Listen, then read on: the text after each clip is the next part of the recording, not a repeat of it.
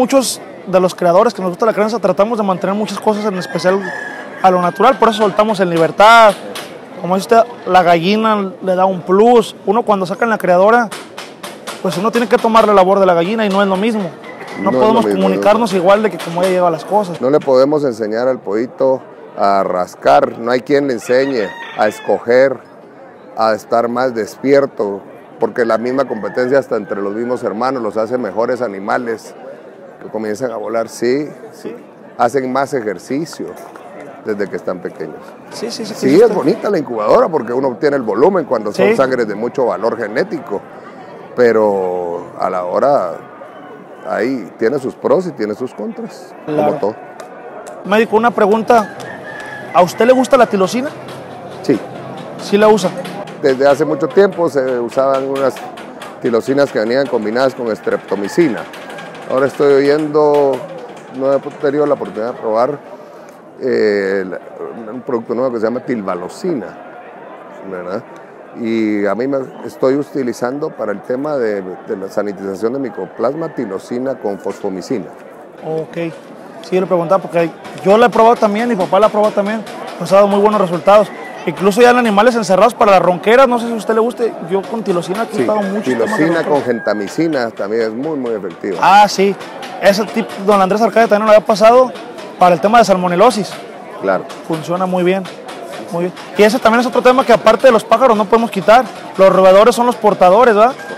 Entonces, hasta ahí como de Los la... pájaros son susceptibles a un montón de, de fauna que vive alrededor de ellos. Los roedores buscan el grano, ¿verdad? Los pájaros buscan el grano. Si pueden, si les- se les permite, dentro de los roedores están las ardillas también También. y que se vuelven plaga dentro de las galleras. Sí. y ahí están, las, pues uno no lleva control de sanitización sobre toda esa fauna que está alrededor de los animales, entonces sí las, la, la limpieza de la salud, la higiene de la salud de los, de los gallos tiene que ser con mucho método. Sí, Si uno quiere tener animales con buena digestión para que tengan buenas carnes, buenos pulmones, buena piel, buena pluma, buenos ojos. Es tiene que uno tratar de darles lo mejor de lo mejor. correcto. ¿A usted la alimentación le gusta en pellet o le gusta en grano? Me gusta 80% grano, 20% de pellet, suplementado, suplementado, alcanzando, procurando alcanzar los niveles de proteína que el gallo va necesitando dependiendo de la etapa en la que se Sí, encuentra. un poquito como lo que comentaba al principio, de acuerdo a las edades. Claro, de acuerdo a las edades necesitan más. Para nosotros en mantenimiento pueden estar en un- entre un 14 a 16 y en postura ideal un 18, ve- 18 a 21 que comienza ya donde el gallo comienza a llegar al cuerpo que uno desea, puede balancearlo otro poquito menos y sabe uno que como un atleta de alto rendimiento lo que necesita es primero for- formar su músculo y luego la ingesta de, de carbohidratos para su energía, que es a la hora de la competencia. Sí.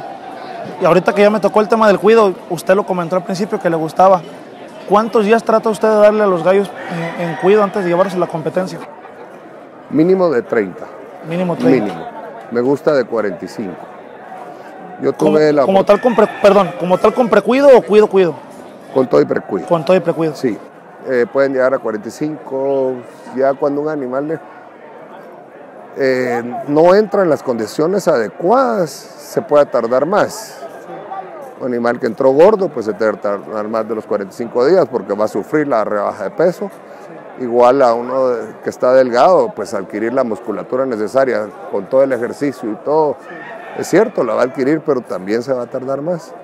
Nosotros tuvimos la oportunidad de, de traer, de, en tiempos de mi señor padre, y de haber traído al hijo de Tom Dale, el que fue socio de George Foster, tres veces aquí en Guatemala, fue mi maestro cuido. El hijo de Tom Dale, Richard Dale.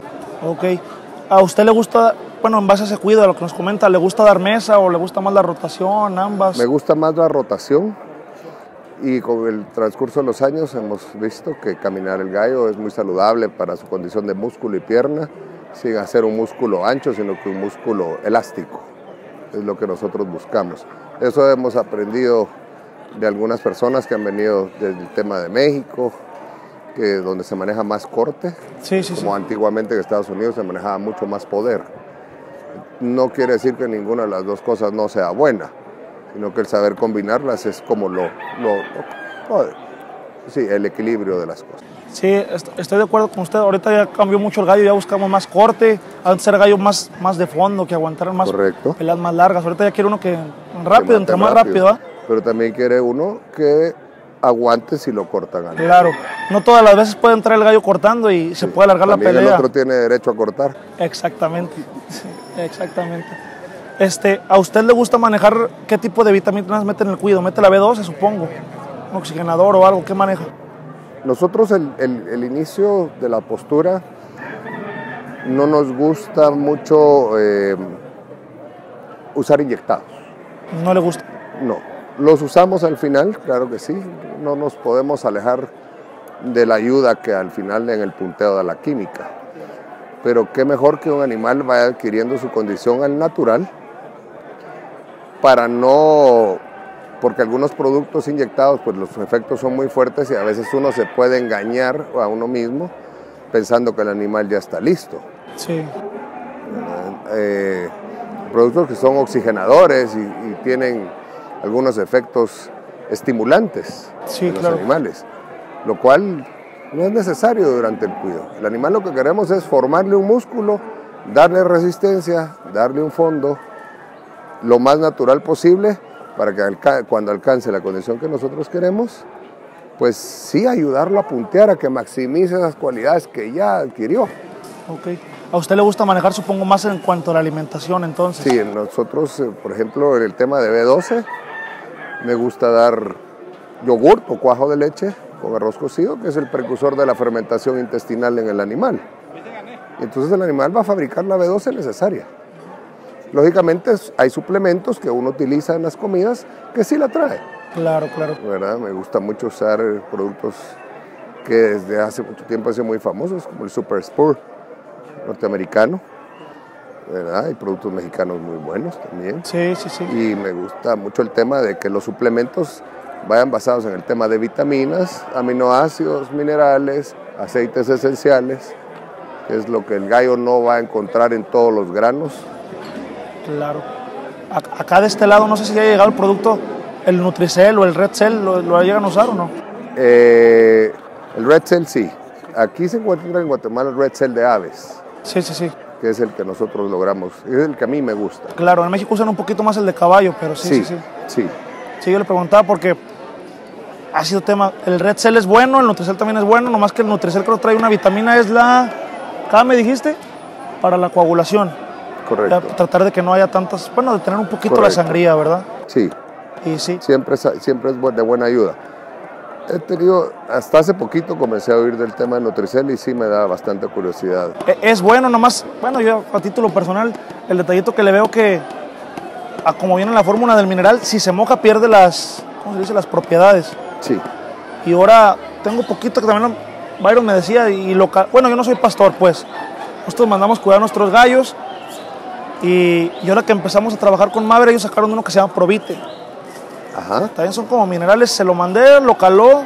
Apenas tiene poquito, hace como un mes, porque ya ve que se atravesó la pluma. Lo caló, me dijo, me gustó, me gallos en las cortas aguantando bien. correcto. Ahorita pues ya. no, ya. Siento yo que es como el Nutricel, nomás que este creo que sí se puede mojar, va, va mezclado con el alimento. Igual luego en una chance que lo tenga, lo, Sí, sí, usted que es médico sabe, se hace uno sus pruebas y así. Así es. No sé si Byron lo tenga, sino que más tarde... Ah, sí, aquí está. Bueno, si no más tarde lo checa usted, Claro, pero viene ahí con sus vitamina A, D, B12 y bueno, hay varias cosillas. claro. Estas son cápsulas. No es polvo. bueno, no lo voy polvo. a poder abrir. Pero es polvito. No. Va, va mezclado en el alimento. Aquí la dosis dice que 3 gramos de la, de la ración. Viene Por- siendo como el Nutricel. un polvito. 3 gramos por gallo. Sí, de la ración que se le dé. No sé cuántos gramos da usted. Nosotros damos, en el tema del Super Spur, damos media cucharadita de, de pellets de Super Spur por gallo. Ok. Eh, dependiendo si el gallo está delgado, la aumentamos. Ah, claro, claro. Si el gallo está gordo, la rebajamos. Y suplementamos con, con, con otros eh, suplementos líquidos que, que le ayudan al tema de lo que es energía y aminoácidos también. El Super, el super Spur es muy completo. Sí, sí, sí. Y mm, también nos gusta suplementar con pasas, que es un tema para Sí. energía concentrada. Sí. Es una fruta deshidratada. Sí, de hecho, muchas veces va uno, a veces como persona las dietas y le ponen mucho a uno las pasas. Correcto. Sí, como dice. Usamos. Eh, nos gusta suplementar la comida, bañarla con un licuadito de tomate para su vitamina C, con un poco de banano para su potasio, ¿verdad? Procurar mantener un buen balance eh, de carbohidrato y proteína es suplementado. Y como dicen, por el pico nunca se va a pasar uno, Sí, porque el animal va a desechar los excesos, exactamente. ¿verdad? Y va a aprovechar lo que necesita. El problema va cuando va inyectado, como dice usted. Correcto. Mientras entre por el pico, este, le iba a preguntar a usted, ya cuando estamos en el palenque, que el gallo ya esté bien, para que el corte, la humedad venga bien, ¿qué tipo de, de heces, cómo le gusta que defeque su gallo? A mí me gusta tocar el gallo, El gallo, sentirlo. tocarlo, sentirlo. No tanto entonces en cuanto a las heces. Gracias a los maestros que, que yo te... Sí, claro que sí. A ese, la- las heces me confirman lo que yo estoy tocando, Claro, claro. ¿verdad? No tiene que sentir el animal en qué parte del cuerpo tiene la humedad que uno quiere que vaya a limpiar para llegar a su punto máximo de condi- de condición, en una eh, humedad balanceada. ¿verdad? Eh, lógicamente las heces, si, si uno logra detectar en qué parte del cuerpo, ahí es el momento de uno tomar las medidas correctivas que uno necesita para...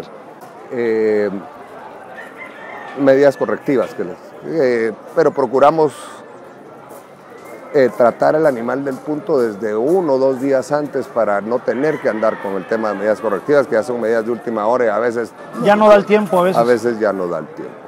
Entonces a nosotros manejamos el tema de humedad con, con un método bastante antiguo, pero muy efectivo. Es el cuido que en Estados Unidos usaba y lo usan muchos norteamericanos, pero el maestro de muchos de ellos fue el, eh, Paul Hewlin, el Night Owl. El Night Owl es el que le tiene el nombre a la B15 de, de- que fabrica Breco, Night Owl B15. Ah, ya. ¿verdad? Era- fue un maestro de maestros. Todavía he visto algunos eh, galleros de los famosos cuando suben, cuando están dando la comida en la postura. Sí. Esa es la comida que me doy. Sí, sí, yo. Ubica. Sí, sí. Entonces eh, aprende uno que, que por el pico es lo más adecuado, ¿verdad? Sí puede suplementar uno los animales al final para puntear, ¿verdad? La B15 ayuda, la B12 ayuda, eh, un poquito de, de ayuda de, de hormonas tipo testosterona que, que le van a ayudar al gallo, eh, pero no es pasarlo de ninguno de esos productos. Porque si no, prácticamente uno mismo te puede terminar arruinando. Sí, todo en exceso es malo, ¿va? Como usted, siempre cuidar la flora, creo yo, que es como que la base, ¿no? Correcto. Y la ventaja, como dice, al momento de que entran la- las vitaminas, los suplementos, el alimento por el pico, el cuerpo sabe lo que necesita. Médico, le quiero agradecer mucho el, el momentito que nos regaló, las enseñanzas que nos dejó, porque era lo que le decía, yo que no estoy especializado, pues uno aprende a usar los medicamentos, que esto, que el otro, pero de ingredientes activos realmente no sabemos. Eso es lo que nosotros buscamos en, en el interés de la parte pues académica. Hemos aprendido un poco el tema de la farmacéutica y la, y la parte y entendemos cuáles son los efectos y los contraefectos de algunos productos, por qué se pueden usar, en qué momento se pueden usar. Y sí, considero que los productos estos están bastante actualizados, tengo muy buenas referencias de ellos y esperamos. Gracias. Bueno. Y, y- y le agradezco mucho. Pues no vamos a aprender lo mismo que usted porque tiene una vida, una carrera para llegar a Todos ese los punto. días se aprende, Y seguimos aprendiendo, pero nos llevamos muchos tips y sé que la gente que vea el video va a aprender cosas que les van a ayudar mucho en su gallera. Entonces, Será un gusto. muy, muy agradecidos por este momentito que nos regaló Encantado. y un gustazo Y de conocerlo. país. Gracias. Un saludo a todos, amigos.